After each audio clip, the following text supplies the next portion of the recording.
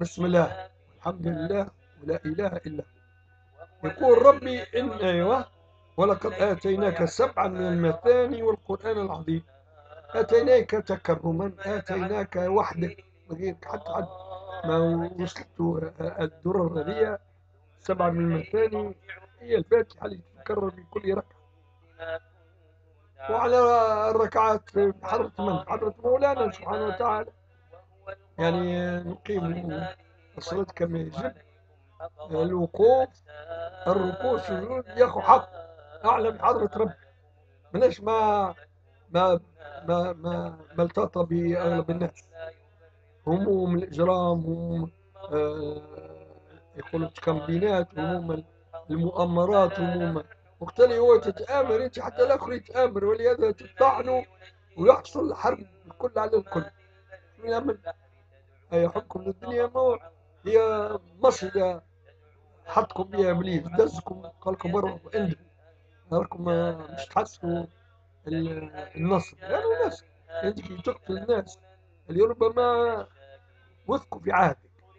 مش خاين ما كانش ربي هو العهد.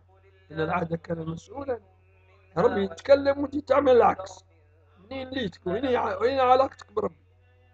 في اللعبة يقولوا العامة اللعبة عشان اللعبة بشيء في فائدة كبرى أن نكون مع الله نكون ربانيين نكون مخلصين. نكون على العهد مع الله. إحنا لسنا بخائنين. ولا تكن الخائنين لا يعني مدافع ولا في صفهم. لا. الخائنين ماكش خصيم يعني يتخاصم لإحقاق باطل وما يدعون أنه حق. شبيكم يعني؟ أخي خايرين تو المحاكم مليانة. سكنات القضاة وأعوانهم. الشرفاء قداش يعانيوا من تبعات إجرامكم. أنتم خايبين خايبين. شكون يمنكم؟ لا في أقوالكم ولا في إشاراتكم ولا في عهودكم. شكون؟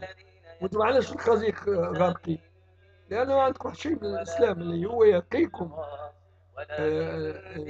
النهايات الكارثية.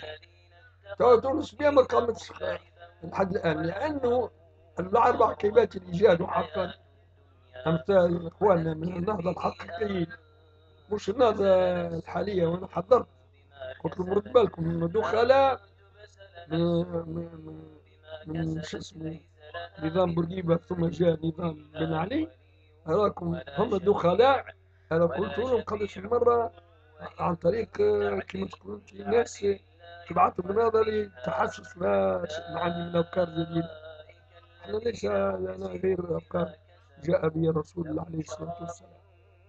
على لا تآمن ولا مرة ولا مكة ولا طمع في دنياهم ولا نسائهم عاهرات فاجرات لا أموال كل حرام. بلا يسطوا على الناس بالحيل. يشكروا الأرض يبارك في الأثمان وانت إن شاء الله ما شو اللي بينا وبينكم؟ تالي أنتم فيه ما إحنا نتحشوا على المتقين. لا آه نقوم بأي أمر يغلب علينا ربنا. لأن إحنا متمتعين برضاه إحنا متمتعين بالقرب منه. إحنا نتلذ محبة حبتنا. لربنا لأنه حبنا فكتب لنا أن نحبه. أنتم مش عندكم هذا. عندكم مذوق من هذه السوق. السوق الوضيئة السوق الرابحة. السوق التي لا دنس فيها. يقول لك النبي عليه الصلاة والسلام أبغض الأماكن إلى الله هي الأسواق. وأطهر وأحب الأماكن هي المساجد وهي المساجد المطهرة ما عادش فيها كلاب بورقيبة وكلاب من علي عادوا فيها فساد. ولا ولا يدخل الشباب. يتعاقبوه وبعد يملسوا له قضية ويرى العجب عجاب من التعذيب واللي مات في السجون تحت الأمراض وغيره وغيره. شيء تنساه هذا إذا تونس ما زالت تعاني. لأن النهضة الأصلية أنا في خلطت الروس واللينين نختلف معاهم لكن ما, ما عندهمش الخيابة نتاع النهضويين الآن. ما معظم النهضويين الآن هم أريبيس.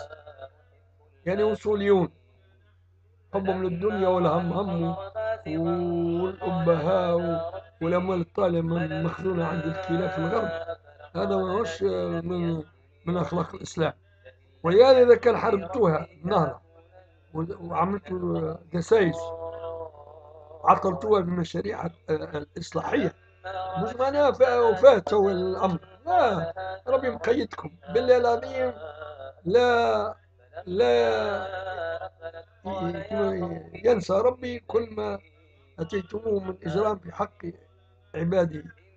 عبادي هذوكم سيادكم حفاظ القرآن ومجاهدين بالتمام. واللي مش يمسهم وزيد التهمهم اليوم يكنزوا في الكنوز. من شرق وغرب. باش يكونوا هما آه، عملاء لأعداء الإسلام. فوق الأرض وتحت السماء لا ما عندهمش. ولا ولو اختلف معاهم يبقوا إخواني وأخواتي حطوا في بالكم اللي زنيتوا خاصة رجال السياسة وأشباه الرجال وأشباه رجال الإعلام. ومن لف لفهم بالتمام. جايكم الحساب وإحنا قلنا لكم عجلوا بالتوبة حتى تطلعوا رابحين لا خاسرين حد الآن. حالكم حال من هم مآلهم الخسران. لعقاب أياماتهم الدنيوية ورحلتهم البرزخية ونهايتهم في مفردة وما أدراكم ما مفردة والسلام على أهل الإسلام.